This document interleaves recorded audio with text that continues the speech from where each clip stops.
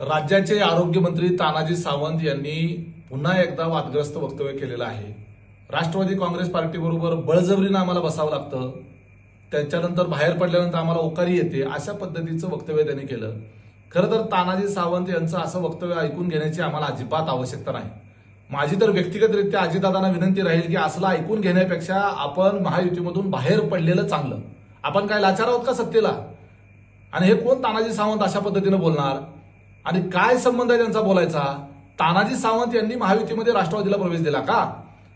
जे सरकार जे आता आलेलं आहे ज्यांच्या नेतृत्वामध्ये एकनाथजी शिंदेच्या नेतृत्वामध्ये जे राज्यातलं सरकार आहे हे सरकार एकनाथ शिंदेना मुख्यमंत्री केलं म्हणून तानाजी सावंत यांना मंत्री होता आलं.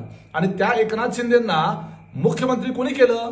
तर ते भारतीय जनता पार्टीच्या शीर्षस्थ नेत्यांनी ते केलं.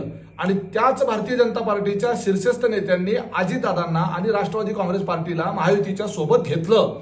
तो निर्णय देशाचे पंतप्रधान नरेंद्र मोदी साहेब असतील अमित शहा असतील किंवा भारतीय जनता पार्टी असेल त्यांनी तो घेतलेला निर्णय आहे. आणि त्यांनी हा निर्णय घेतल्यामुळं एकनाथजी शिंदे मुख्यमंत्री झाले अजितदादा उपमुख्यमंत्री झाले आणि हे सरकार आलं म्हणून तानाजी सावंत हे मंत्री आहेत. ही लक्षात घेण्याची गोष्ट आहे.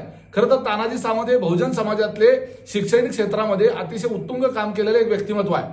शून्यातून मोठं विश्व निर्माण केलेला व्यक्ती म्हणून आम्हाला सुद्धा त्यांचा अभिमान वाटायचा. परंतु त्यांची ही अशी वक्तव्य ऐकल्यानंतर आम्हाला सुद्धा त्यांची लाज वाटते. ही काय बोलण्याची भाषा झाली?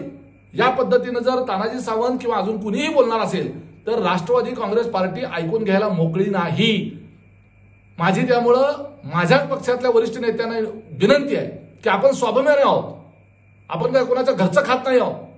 आणि त्यामुळं अशा पद्धतीनं ओकारीची भाषा करणाऱ्या तानाजी सावंतला एक तर बाहेर काढा नाही तर आम्ही तर बाहेर पडतो.